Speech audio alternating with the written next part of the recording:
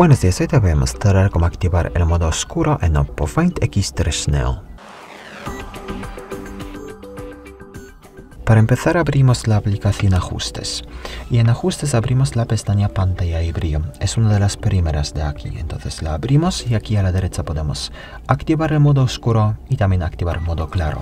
Más abajo podemos programar los modos. Activamos aquí la programación, por ejemplo, según hora personalizada.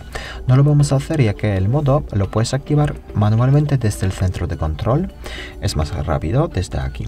Buscamos aquí el icono de modo oscuro, está aquí. Entonces pulsamos el icono para activar activar el modo y volvemos a pulsar aquí para desactivarlo. Y ya es todo.